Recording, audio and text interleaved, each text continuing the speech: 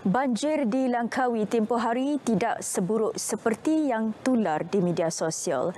Menteri Besar Kedah Datuk Seri Muhammad Sanusi Maknur berkata, penyebaran berita palsu sebegitu sedikit sebanyak menjejaskan sektor pelancongan pulau terbabit. Sebaran maklumat yang tidak benar itu menjejaskan sektor pelancongan di Langkawi lah dan membatalkan penerbangan apa semua itu tak patutlah. Ada banyak tempat kering dan kawi. Kasut saya pun tak basah hari ni. Hari ni tak ada hujan, dan tak ada banjir dah. Dah kering dah. Saya harap uh, pelancong-pelancong uh, teruskah datang berkunjung ke Langkawi.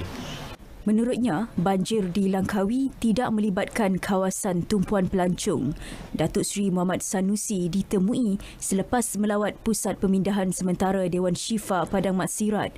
Lokasi itu menjadi tempat berteduh buat 56 daripada 15 keluarga di Langkawi yang terjejas akibat banjir.